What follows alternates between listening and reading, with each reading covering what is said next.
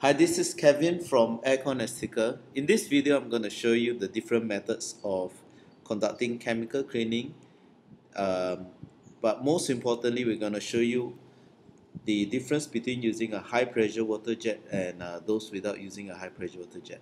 So this is the usual market practice whereby chemical cleaning is conducted using a water hose so when you apply pressure on the uh, water hose, you can see that the water pressure looks relatively strong.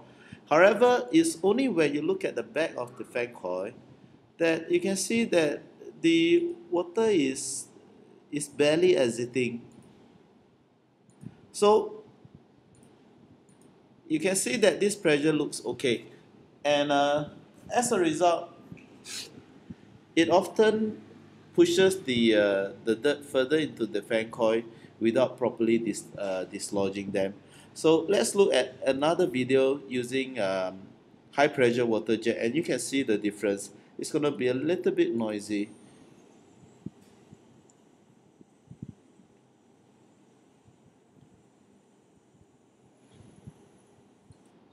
Yeah, you see over here, yeah, I'm sure it become it's very uh, it's, it's, it's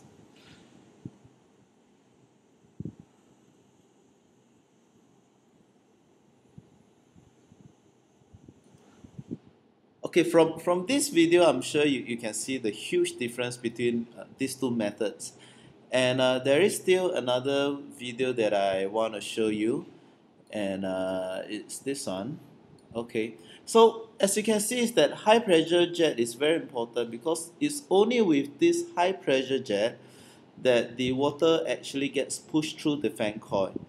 And um, with our cleaning method, which is a patent pending cleaning method, um, not only does we have the high pressure jet that cleans the front of the fan coil with a separately filed patent for the uh, high pressure jet nozzle, we are able to clean the inside of the fan coil from inside out.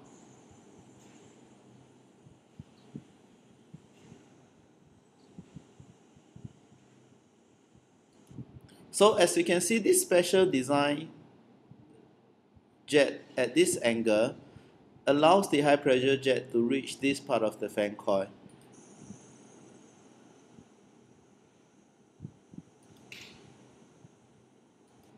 So as we push the high pressure jet further in, it is able to clean the second flaps of the uh, fan coil.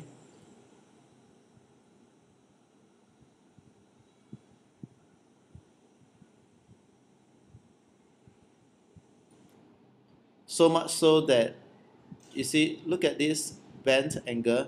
It also allows us to clean here. So this is the high pressure jet nozzle that we we have uh, uh, invented.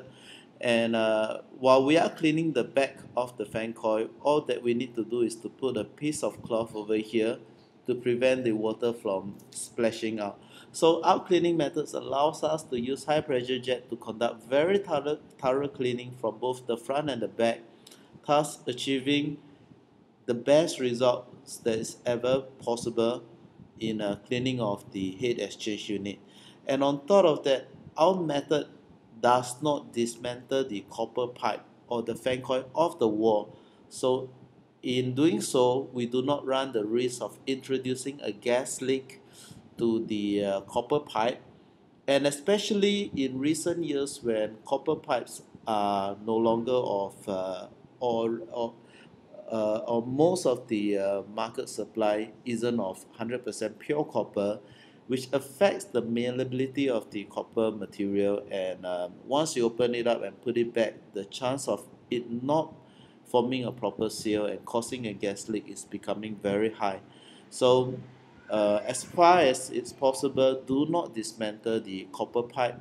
Not only does it run the risk of uh, causing a gas leak, it contaminates your gas system with water, with water moisture, which destroys your compressor oil, which leads to um, uh, premature compressor failure.